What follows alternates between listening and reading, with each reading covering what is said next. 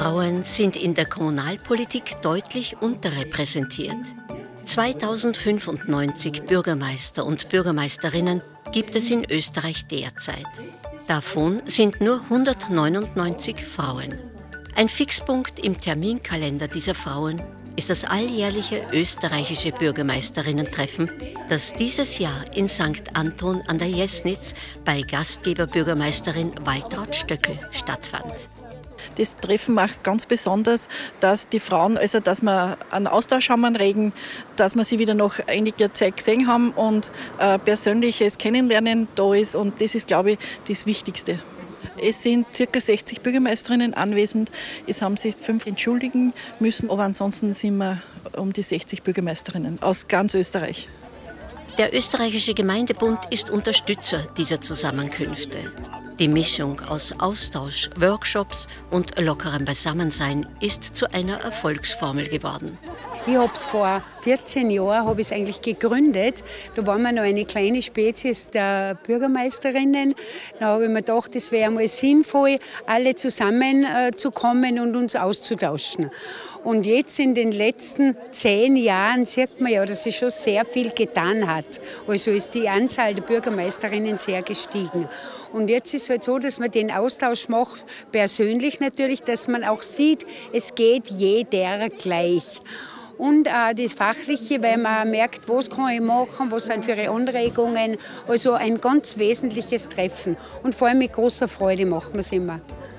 Trotz des geringen Frauenanteils in der Kommunalpolitik zeigt sich ein Trend nach oben. Also zum Beispiel bei uns in Kärnten 1999 waren es zwei Bürgermeisterinnen, jetzt sind es zehn und circa so, immer so von dieser Ebene von zwei auf zehn, das ist, es hat sich schon etwas verändert. Ähm, was für mich trotzdem noch ähm, Wahnsinn ist, sind nur sieben Prozent. Also jetzt haben wir zum Beispiel in Kärnten 132 Gemeinden und davon zehn Gemeinden ist noch immer wenig. Also man muss als Bürgermeisterin, glaube ich, nach außen hin einfach sagen, dass es Spaß macht, dass es wichtig ist, dass auch Frauen, Bürgermeisterinnen sich deswegen zur Wahl stellen. Gell? Und nur so kann man es schaffen, dass wir da auch mehr als ich mal, bei 50 Prozent hinkommen irgendwann einmal. Und ich glaube, es ist einfach mehr ins Bewusstsein gerückt und auch nicht zu vergessen, es sind ja immer weniger Kandidaten, die sich zur Verfügung stellen. Und ich glaube, das ist sicher auch ein Aspekt, warum jetzt auch mehr Frauen angefragt werden. Und indem es ja äh, auch medienmäßig mehr zum Thema gemacht wird, sehen viele, es geht gut. Und auch die Bevölkerung ist reif und offen für eine Frau an der Spitze. Und dass das Amt als Bürgermeisterin auch Spaß macht, haben wir vor Ort erfahren. Aber da gibt es so viele Dinge. Das, das Schönste eigentlich ist, wenn man jemandem helfen kann. Das macht eigentlich viel Spaß und das, von dem holt man sich auch die Energie für die zukünftigen Aufgaben.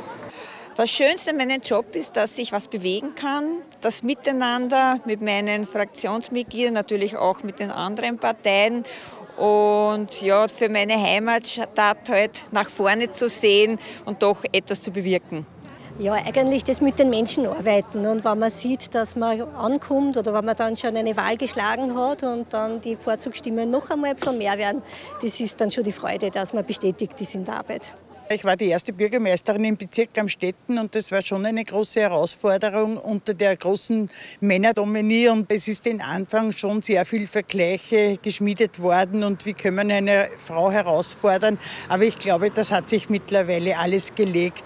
Eine Frau stellt den Mann und mit allen Freuden und ja, jeden Tag eine große Begeisterung. Und was machen die Bürgermeisterinnen anders als ihre männlichen Kollegen? Ich denke, dass Bürgermeisterinnen ein bisschen mehr aus dem Bauch rausarbeiten. Das glaube ich schon, dass das eine wertvolle Geschichte ist. Das machen sicher auch Männer, aber ich glaube Frauen doch noch ein bisschen mehr. Was machen wir anders? Wir machen uns wahrscheinlich aber trotz alledem mehr Sorgen und Gedanken, ob wir es eh gut machen. Das ist vielleicht bei den Männern manches Mal nicht so. Da müssen wir noch arbeiten daran. Ich glaube, so viel anders machen wir es nicht. Es kommt immer auf den Mensch drauf an, auf die Persönlichkeit. Gell?